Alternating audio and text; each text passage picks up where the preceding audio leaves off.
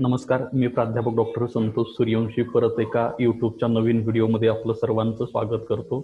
आजचा व्हिडिओ जो आहे तुम्ही शेअर होल्डिंग पॅटर्न या विषयावरती बनवला आहे. आपण जर स्टॉक मार्केटमध्ये लॉंग टर्म इन्व्हेस्टमेंट करत असाल तर आपल्याला ज्यावेळेला एखादा फंडामेंटली स्ट्रॉंग स्ट्रॉंग असा स्टॉक शोधायचा असतो त्यावेळेला आपण त्यासाठी वेगवेगळा स्टडी करतो किंवा वेगवेगळे पॅरामीटर यूज करतो. जसं की बॅलन्स शीट असेल त्याचबरोबर कंपनीची ग्रोथ असेल कंपनीचे बाकीचे फायनान्शियल रेशोज असतील त्याचबरोबर शेअर होल्डिंग पॅटर्न हा एक महत्त्वाचा पॅरामीटर आहे. ज्याच्या सहाय्यानं तुम्ही ती कंपनी फंडामेंटली स्ट्रॉंग आहे का वीक आहे हे काय करू शकता त्या ठिकाणी आयडेंटिफाय करू शकता. मग याच घटकाची मी तुम्हाला सविस्तरपणे माहिती जी आहे ती शेअर होल्डिंग पॅटर्न कसा वाचायला पाहिजे आपण कसा बघायला पाहिजे आणि हा शेअर होल्डिंग पॅटर्नमध्ये नेमके कोणते घटक आपण बघायला पाहिजे त्याची सविस्तरपणे चर्चा जी आहे ती आजच्या व्हिडिओमध्ये करणार आहे. चला तर मग सुरुवात करूया. सुरुवात करण्या अगोदर माझी आपणाला सर्वांना विनंती आहे आपण जर आमच्या युट्यूब चॅनलवर पहिल्यांदा आला असाल तर प्लीज पहिल्यांदा सबस्क्राईब बटनाला क्लिक करा लाईक करा त्याचबरोबर व्हिडिओला शेअर करा. मग हा शेअर होल्डिंग पॅटर्नचा ज्या वेळेला विचार करतो आपण मग हा नेमका काय राहतो शेअर होल्डिंग पॅटर्न हे पहिल्यांदा काय करा तुम्ही? समजून घ्या. म्हणजे एखादी कंपनी ज्या वेळेला स्थापन होते किंवा एखादी कंपनी ज्या वेळेला स्टॉक मार्केटमध्ये लिस्टेड केली जाते त्याच्या लिस्टिंगचे जे रूल्स आणि रेग्युलेशन्स आहेत त्याच्यानुसार कंपनीला शेअर होल्डिंग पॅटर्न द्यावा लागतो.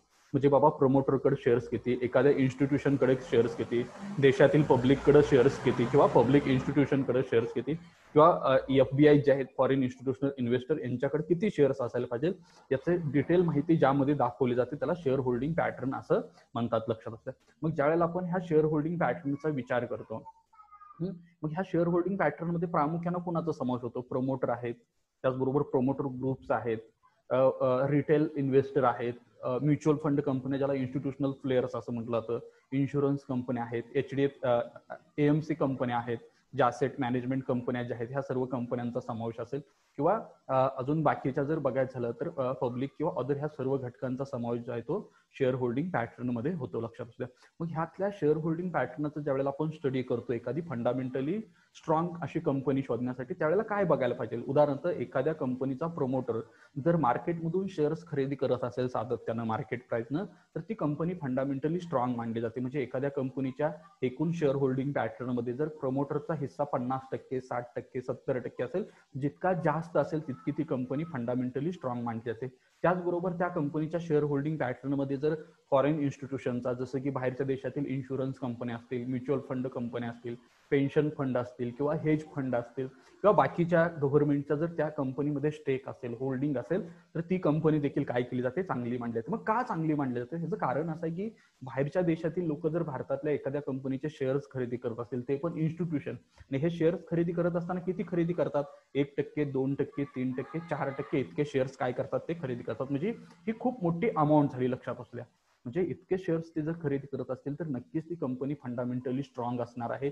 त्या कंपनीचं फ्युचरमध्ये होणारी ग्रोथ सुतकान कशी असणार आहे? खूप चांगली असणार आहे. त्यामुळे ही लोक काय करत असतात त्या ठिकाणी?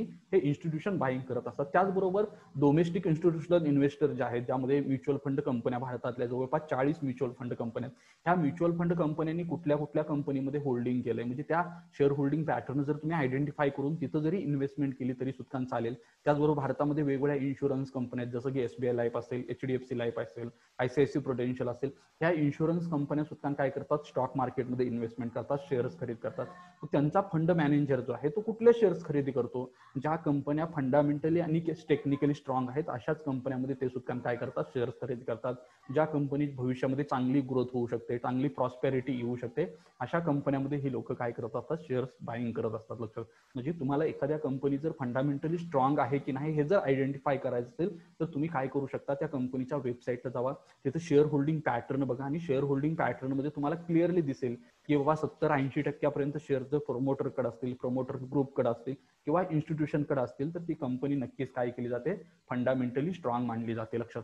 त्याचबरोबर भारतामध्ये जितक्या काही कंपन्या लिस्टेड आहेत बीएससीला आणि एन एस एला ह्या सर्व कंपन्यांना प्रत्येक क्वार्टरला त्यांचा शेअर होल्डिंग पॅटर्न जो आहे तो डिस्क्लोज करावा लागतो. त्याचबरोबर कंपनीच्या शेअर होल्डिंग पॅटर्नमध्ये एक टक्क्यापेक्षा जास्त शेअर्स असणारे किती लोक आहेत कोण आहेत त्यांच्या नावासहित सर्व डिटेल्स आहेत आहे ते काय करावं लागतात त्यांना? डिस्क्लोज करावे लागतात लक्षात असू द्या.